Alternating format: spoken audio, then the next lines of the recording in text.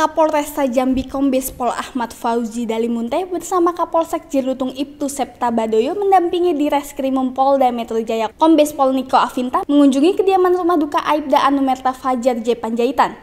Dalam kesempatan tersebut, Kombes Pol Niko Avinta beserta keluarga besar Polda Metro Jaya mengucapkan turut berbela sungkawa atas meninggalnya Aibda Anumerta Fajar dalam menjalankan tugas. Selain itu, Niko dan Fauzi berbicara dengan ayah almarhum mengenai keseharian Aibda Anumerta Fajar. Fauzi juga mengatakan bahwa Kapolda Jambi akan meninjau ke tempat kejadian perkara terjadinya penembakan. Sebagai bentuk penghormatan Kombes Pol Niko memberikan santunan secara simbolis kepada istri Aibda Anumerta Fajar Panjaitan. Dari Jambi, Tim Liputan Tribrata TV, salam Tribrata.